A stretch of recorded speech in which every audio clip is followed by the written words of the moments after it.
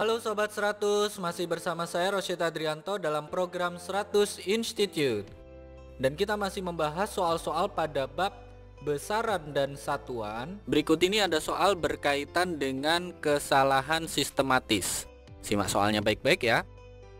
Jadi di sini langsung saja ke pertanyaannya. Pertanyaannya adalah Berikut ini penyebab kesalahan sistematis dalam pengukuran yang mungkin terjadi kecuali. Oke sobat 100 sebelum menjawab soal di sini saya sampaikan dulu beberapa penyebab kesalahan sistematis ya. Jadi kesalahan sistematis itu bisa disebabkan oleh beberapa hal. Yang pertama adalah kesalahan dalam kalibrasi. Ingat ya sobat 100 pengukuran itu ketika kita menggunakan alat ukur langkah pertama yang harus kita lakukan adalah melakukan kalibrasi. Kalibrasi ini penting karena ini nanti akan berakibat pada data yang kita ambil ya. Jadi pastikan ketika kita mengkalibrasi ini jika tidak melakukan pengukuran atau alat ukur belum dipakai ini pastikan jarum penunjuknya menunjukkan angka 0 ya. Oke, ini penyebab kesalahan sistematis yang pertama, kesalahan kalibrasi. Kesalahan yang kedua itu adalah kesalahan titik nol. Ini biasanya kita salah dalam melihat garis atau jarum saat menunjukkan titik nol. Ini biasanya di pengukuran menggunakan alat ukur seperti jangka sorong atau mikrometer skrup ya.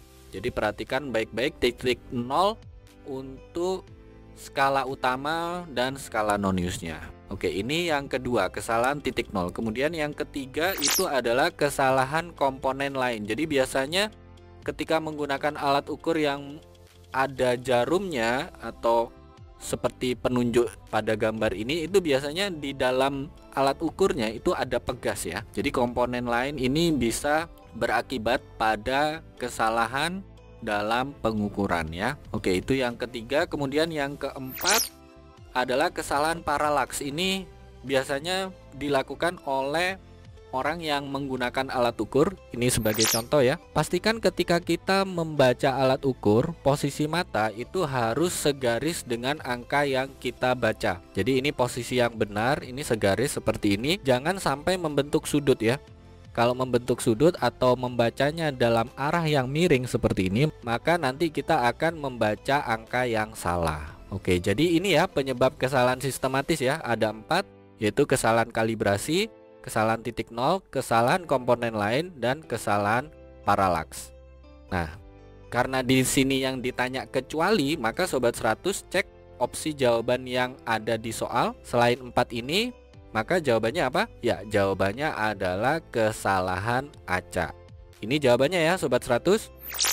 Oke Sobat 100 sampai di sini bisa dipahami ya. Jadi ingat baik-baik Penyebab kesalahan sistematis itu bisa kesalahan kalibrasi, kesalahan titik nol, kesalahan komponen lain, dan kesalahan paralaks. Karena yang ditanya adalah kecuali, berarti jawabannya adalah kesalahan acak. Begitu ya Sobat 100, sampai di sini bisa dipahami ya. Nah, kalau Sobat 100 sudah paham untuk video penjelasan ini, Sobat 100 bisa melihat atau mempelajari video penjelasan yang berikutnya. Lalu, untuk pertanyaan atau soal-soal berkaitan dengan mata pelajaran matematika, fisika, kimia, Mandarin atau Inggris, Sobat 100 bisa tanyakan soalnya di aplikasi tanya jawab soal. Oke Sobat 100, selamat belajar ya.